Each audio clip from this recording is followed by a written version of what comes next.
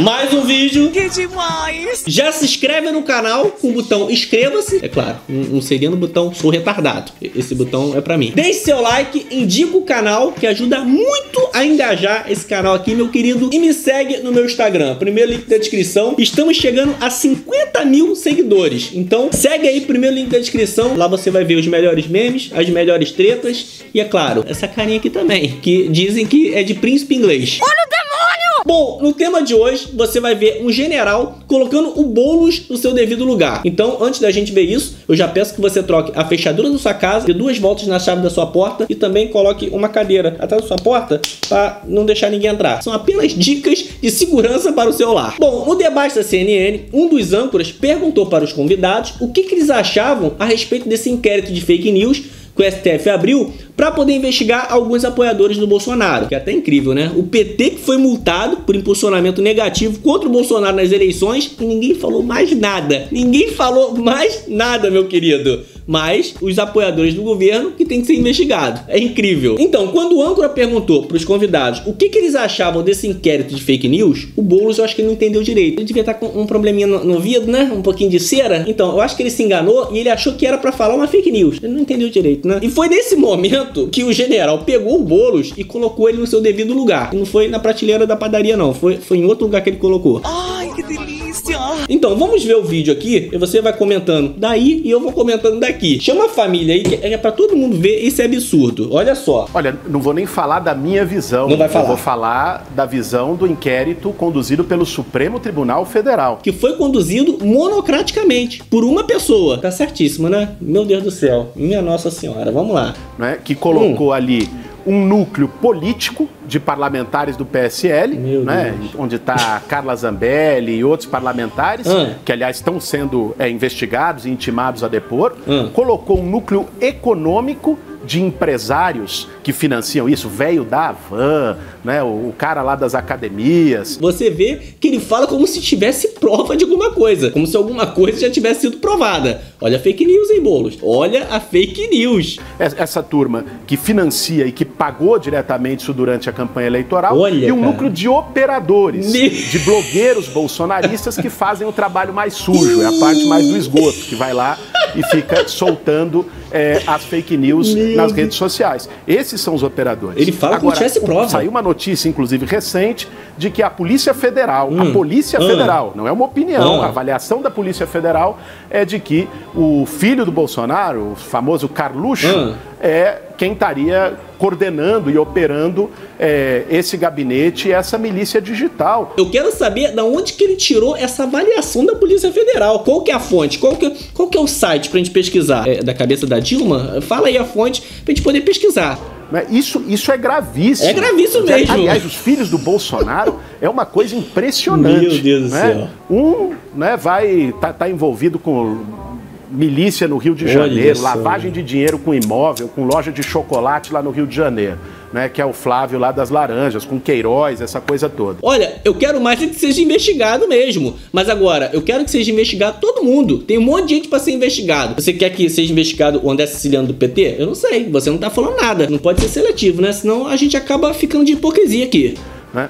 O outro, hum. né, o, Eduardo Bananinha, Meu fica Deus falando de AI-5 toda hora, vai é, ficar se articulando com o Steve Bannon, com essa turma lá fora. Agora, se ele falou Eduardo Bananinha, ele criou um apelido. Então isso significa que a gente pode botar apelido nele. É isso?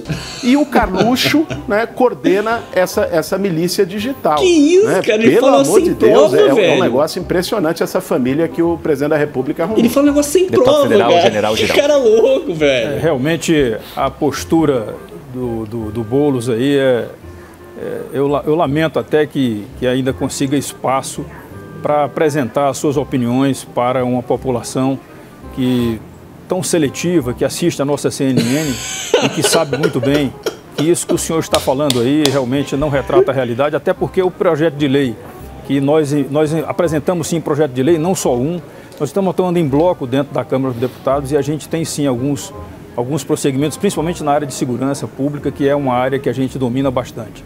Mas eu queria aqui deixar claro hum. é, que as suas acusações, é, quando são jogadas ao vento, como está fazendo Demais. aqui agora, elas são lamentáveis, mas também elas correspondem ao seu currículo, ao seu passado. O senhor sempre atuou fora da lei, à margem da lei, a, a, a, atacando propriedades, atacando as pessoas, e não está sendo diferente. Lamento bastante esse tipo de acusação que o senhor está fazendo, porque as pessoas às quais o senhor está se referindo, elas não estão aqui para se defender. Mas a população sabe quem elas são. A população sabe e confia. Não é à toa que nós tivemos o, o, o deputado federal mais votado na história do Brasil aí em São Paulo. O senador também com uma quantidade enorme de votos.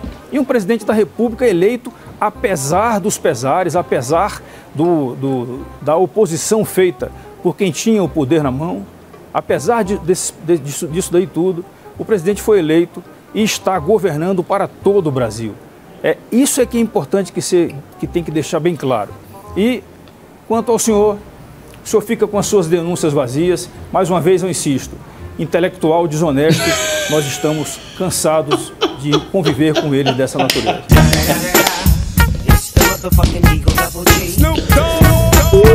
Agora, eu quero saber quem que vai julgar as fake news que o Boulos falou. Porque é muito fácil você julgar um lado só. É muito simples você poder falar o que você quiser e não, acontecer, não te acontecer nada. Assim é mole. Assim tá que nem minha avó me acusando de comer os doces dela quando eu era criança, mas só que não era eu. Era quem? Era meu primo. Só que ia saber quando? Ia saber depois de seis meses, quando a barriga de verme crescia. Assim é mole, meu querido. E ainda tem gente querendo agora que tem um sensor na internet para poder julgar o que é real e o que não é real. Aí eu te pergunto, quem vai julgar o sensor? Ele vai ter lado político? Ele vai ser isento? Porque até agora só os conservadores estão se ferrando, né? A gente não vê uma conta de um progressista bloqueada, um, pro, um progressista sendo investigado. A gente não vê, a gente não vê nada disso. Só conservador que tem se ferrado.